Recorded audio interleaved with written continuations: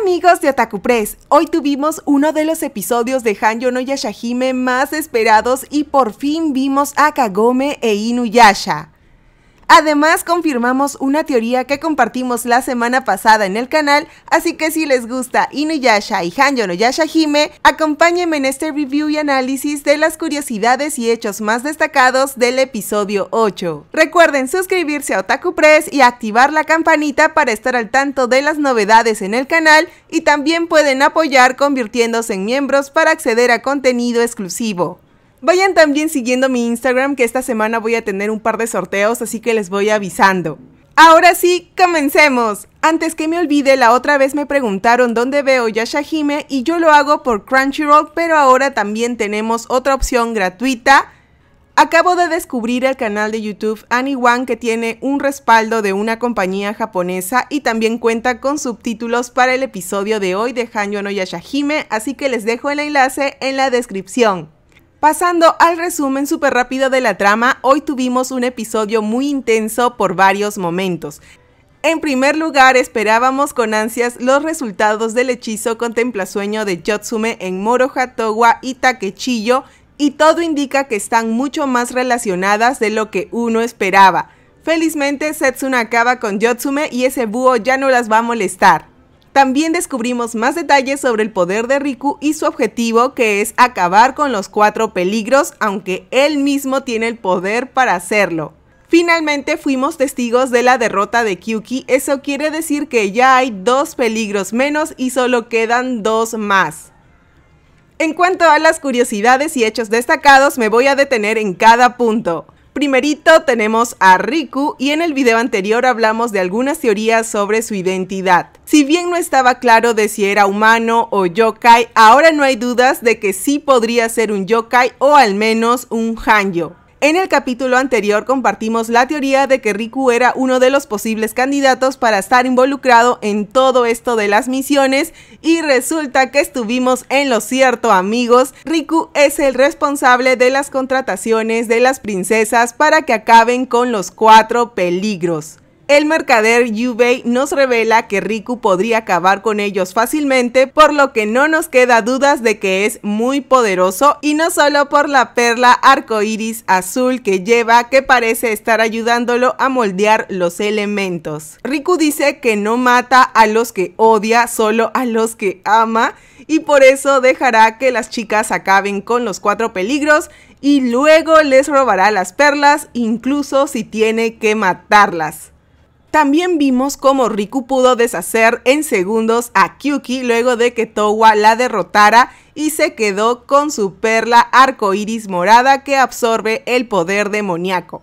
El objetivo de Riku es conseguir todas las perlas arcoíris, por lo que lo volveremos a ver próximamente. Además, no sé si lo notaron, pero Yubei parece que también tiene una perla que podría haber sido entregada por el mismo Riku. Una cosa que no puedo dejar de mencionar, y esto es completamente mi opinión personal, es que me extraña muchísimo que ninguna de las chicas notara que la perla ya no estaba con los restos de la yokai. Sé que estaban preocupadas por Setsuna que casi se desmaya, pero Moroha al menos debería haber estado más interesada en su recompensa y además vemos que Towa tiene un corazón muy bondadoso, pero ha sido testigo de que Riku le tendió una trampa y no creo que no se haya dado cuenta de que él era el ladrón de la espada y que por su culpa estuvo detenida con el vice Shongun de Kanto. Por el momento seguiré sin apoyar ningún ship entre Towa y Riku y si es que este tal Riku es recontra viejo por ser yokai, entonces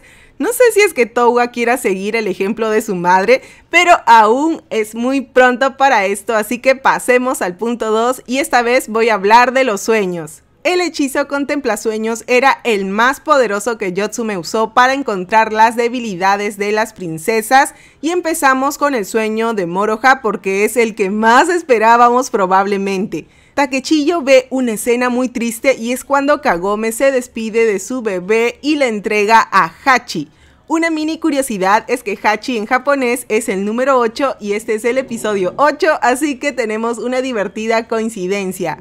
Pero ¿quién es Hachi? Pues ustedes lo recordarán de Inuyasha porque Hachi es un mapache aliado de Miroku. Él aparece por primera vez en el manga en el capítulo 51 y en el 64 lo vemos en su forma de globo, que es justo como lo hemos visto hoy en Yasha Hime. En el sueño vemos que Kagome le entrega a su bebé junto con el labial heredado de la madre de Inuyasha, que podría ser perfectamente otro labial del que tenía Kikyo, por cierto, pero bueno, lo más importante es que nuestro Kokoro sufrió mucho al ver a Kagome e Inuyasha defendiendo a su niña.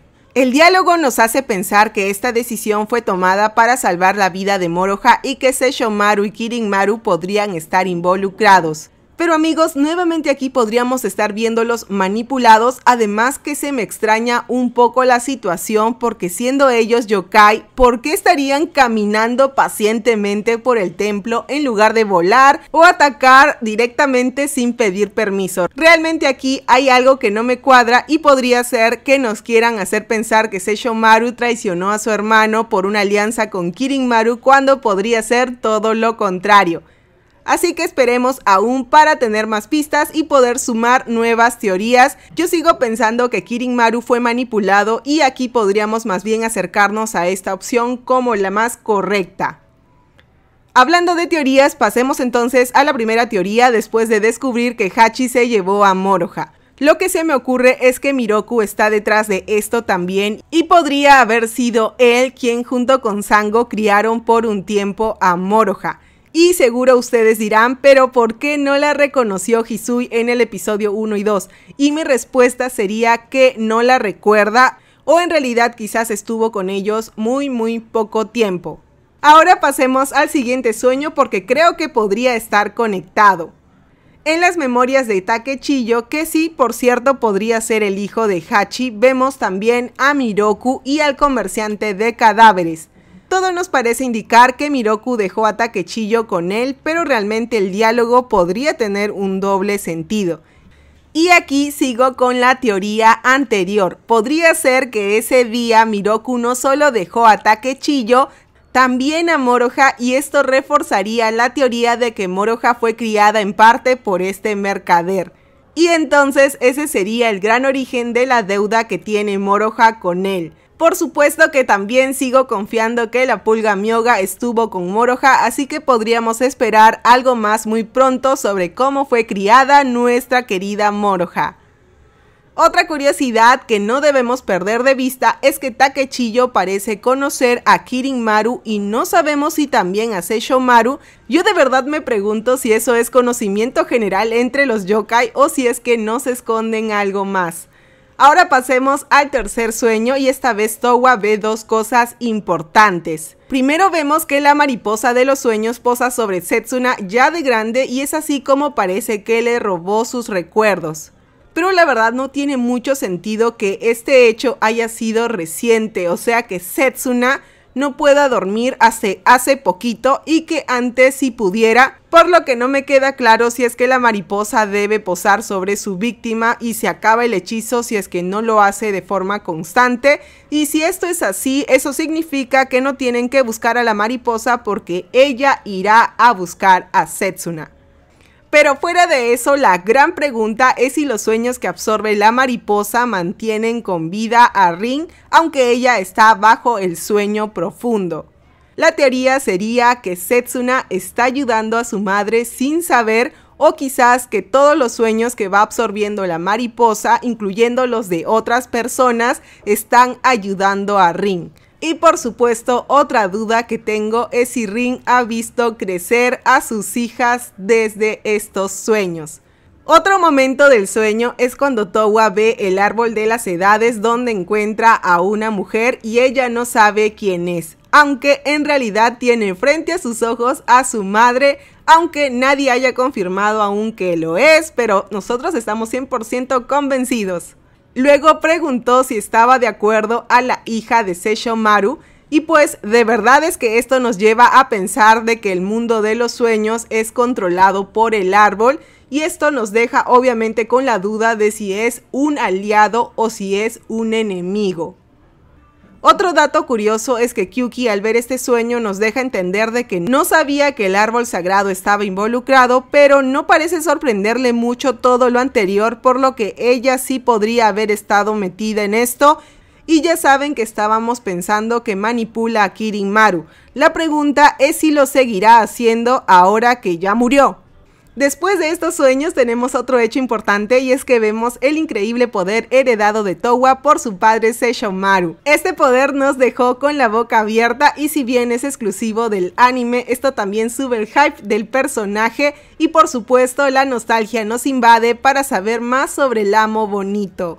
Antes de que se me escape, hace un ratito les decía que me parece que lo de Kagome Inuyasha pasó en un templo y aún no tengo la respuesta de dónde es exactamente, pero podría ser en la misma aldea de la anciana Kaede, donde vemos algo muy común que es el tori y unas escaleras, así que dejen sus ideas para seguir buscando dónde podría haber sido este encuentro. Para el siguiente episodio parece que tendremos una historia original que no se liga con la trama de Inuyasha, así que esperemos que este enemigo nos dé información sobre la misión de las Yashahime. También espero que pronto podamos conocer al otro cuarto peligro y ver de nuevo al amo bonito. Muchísimas gracias por llegar hasta aquí, dejen sus teorías por aquí abajito en la cajita de comentarios. No se vayan a ir sin suscribirse al canal de Otaku Press, activar la campanita y si desean pueden convertirse en miembros del canal desde un dólar para tener acceso a los videos en exclusiva antes de que los publique, así como a un boletín de noticias, un recorrido por mi colección de Sakura en vivo y mucho mucho más. Si no pueden colaborar, no se preocupen, sus likes y sus comentarios ayudan muchísimo. Así que infinitas gracias a todos por llegar hasta aquí y seguir Otaku Press. Nos vemos muy pronto.